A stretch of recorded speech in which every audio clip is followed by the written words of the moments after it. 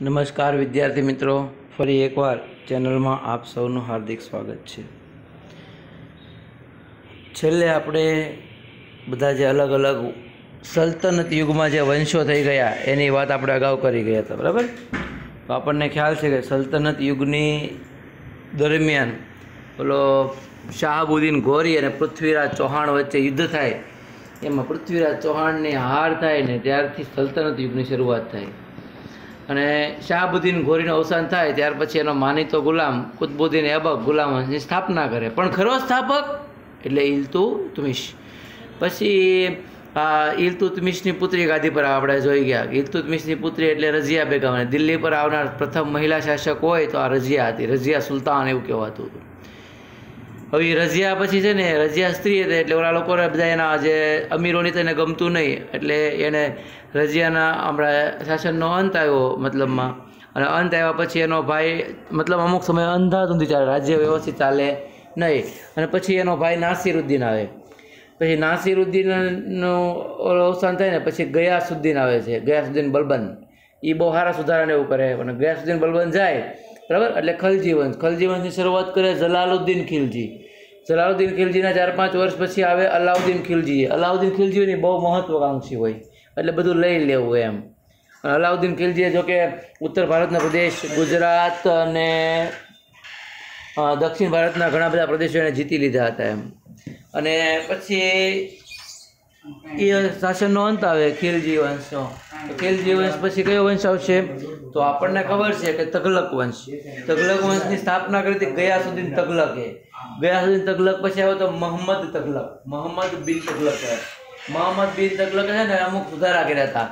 બરાબર? એ સુધારા કેવા કેવા હતા? તરંગી. યાદ છે ને? બરાબર?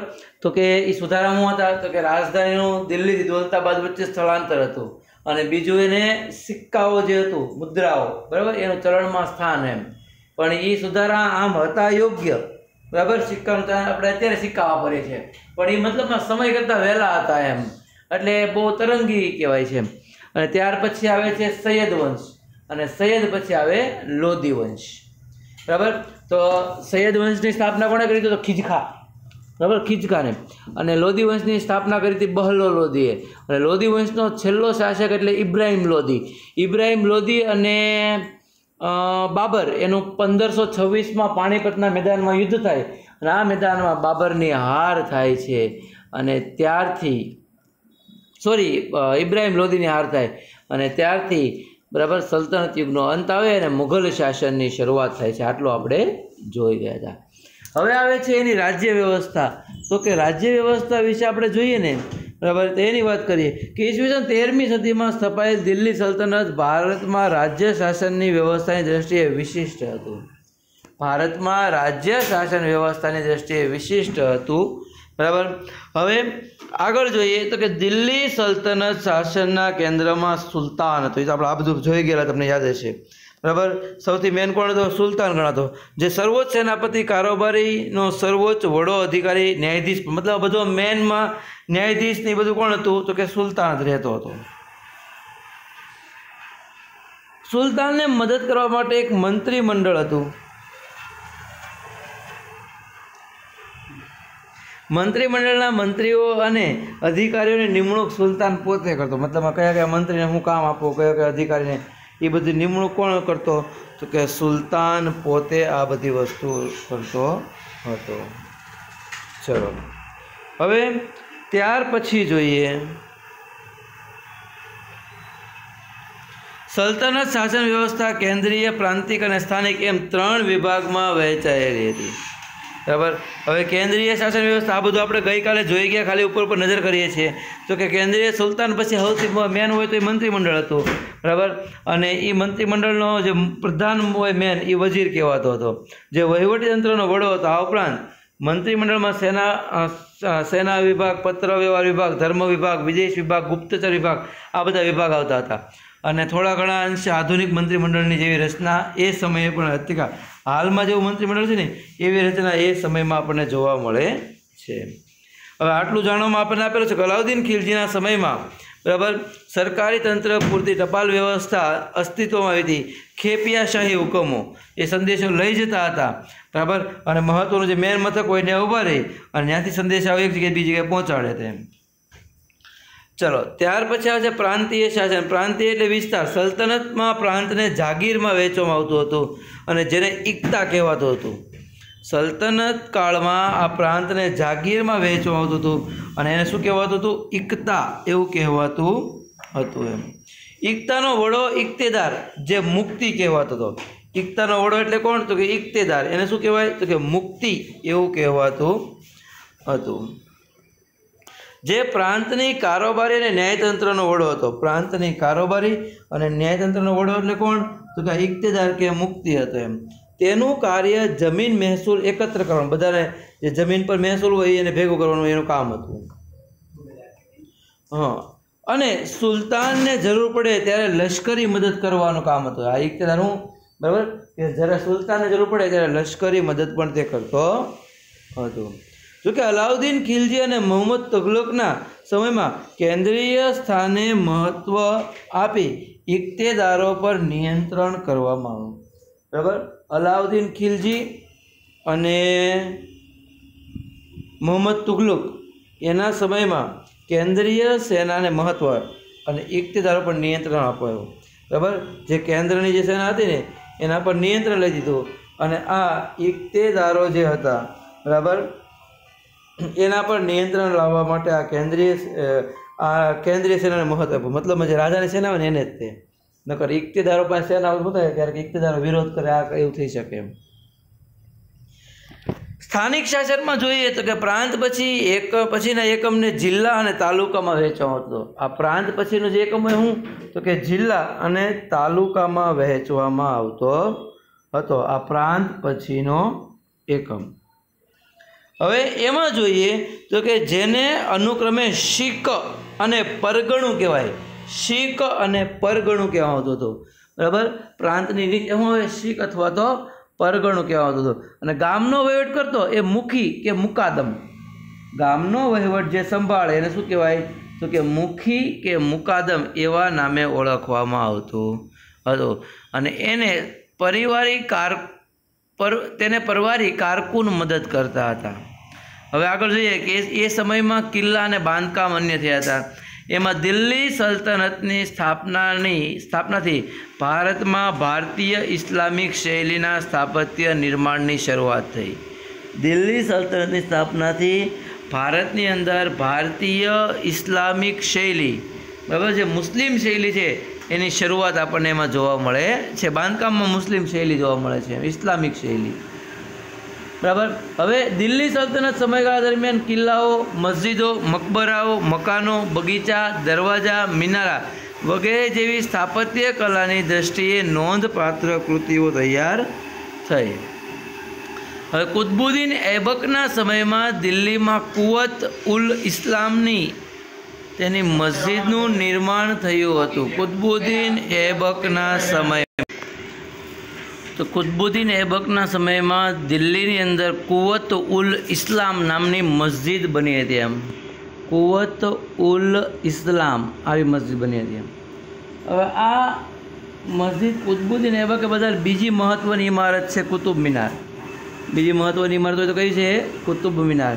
એ કુતુબ મિનારના સમયમાં તેનો એક માળ જ બાંધી શકાયો હતો એમ.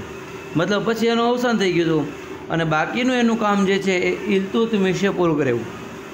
એનો જે જમાય હતો, બરાબર? એની પછી જે સત્તા પર આવ્યો તે એનું કામ પૂર્ણ કર્યું.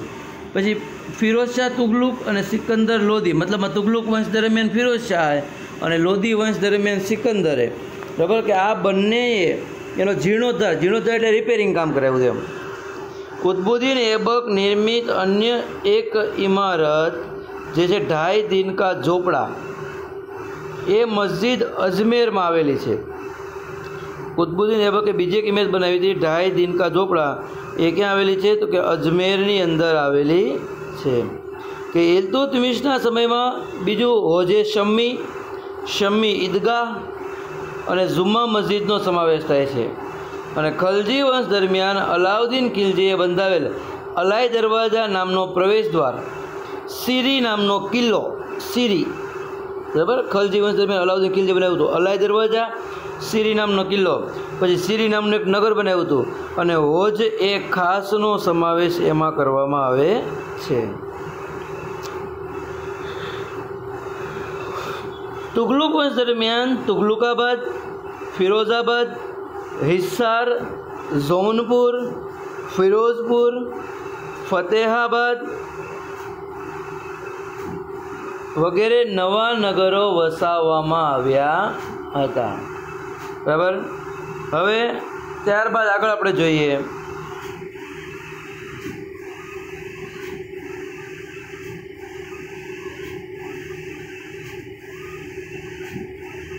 કે આ સમયગાળા દરમિયાન દિલ્હીમાં અનેક કિલ્લાઓ, મસ્જિદો, તળાવો, મહેલો, સ્નાનાગારો, મકબરાઓ, પુલો, સરાઈઓ, બગીચાઓ વગેરેનું નિર્માણ થયું હતું. અને સૈયદ અને લોધી વંશ દરમિયાન મકબરાઓ અને મસ્જિદનું નિર્માણ થયું હતું.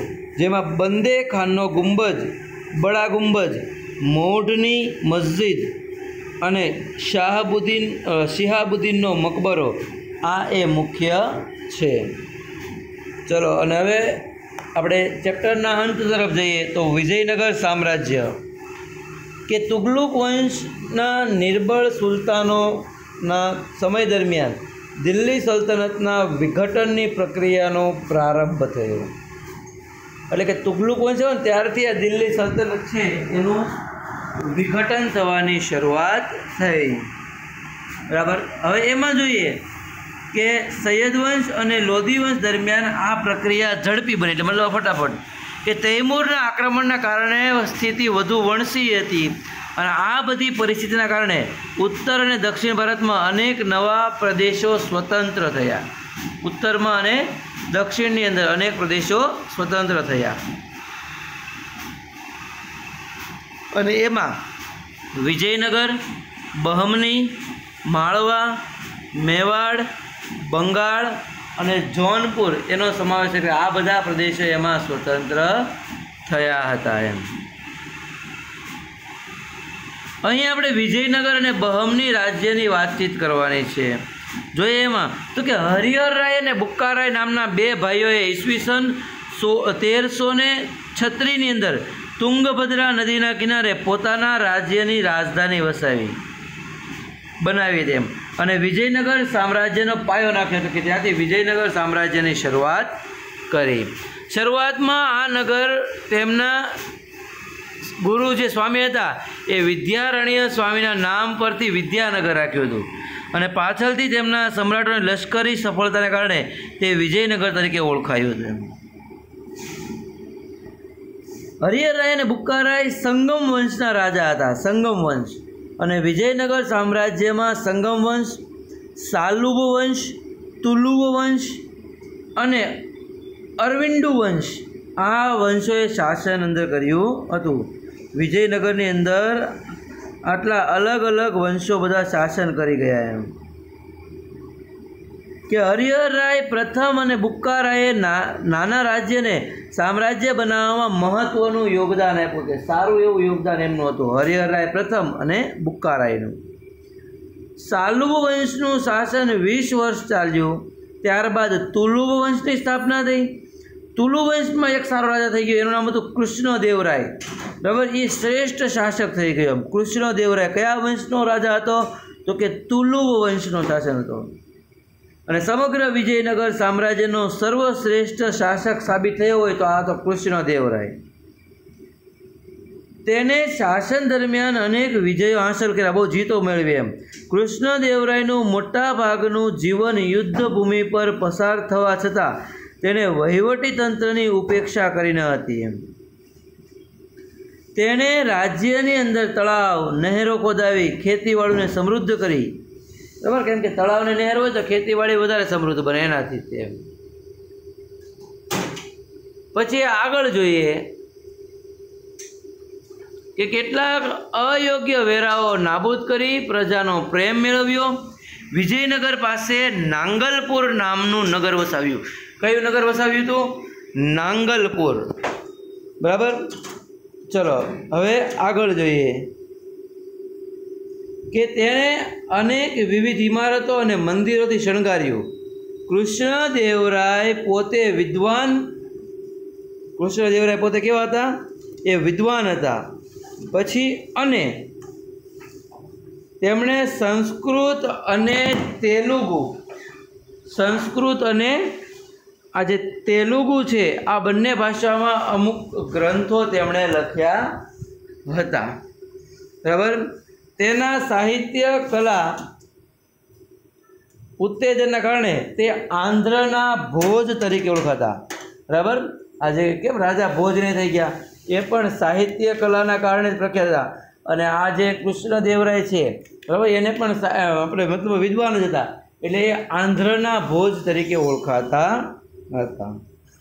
કૃષ્ણદેવરાયના અવસાન બાદ વિજયનગરમાં આંતરિક ઘર્ષણ થયા, કાવતરાઓ શરૂ થયા અને ત્રેવીસ જાન્યુઆરી પંદરસો પાસઠના રોજ તાલીકોટાના યુદ્ધમાં મુસ્લિમ રાજ્યમાં બનેલા સંઘની સામે વિજયનગરનો પ્ર- પરાજય થયો અને યુદ્ધ બાદ વિજયનગર સામ્રાજ્ય એક સદી સુધી ટકી શક્યું. મતલબમાં સો વર્ષ સુધી એની ટક્યું. પણ પહેલાં જેટલી પાછી ભવ્યતા તે પ્રાપ્ત કરી શક્યું નહીં. એટલે વિજયનગરનો આમ જોઈએ તો નાશ ક્યારે થયો ગણાય? તો કે તાલીકોટાના યુદ્ધમાં એનો નાશ થયો. પછી આવે છે બહમની રાજ્ય. ઓકે, વિદ્યાર્થી મિત્રો, તો આજ માટે આટલું રાખીએ. કેમ કે બહમની રાજ્ય આપણે આવતીકાલથી જોઈશું. Okay thank you thank you very much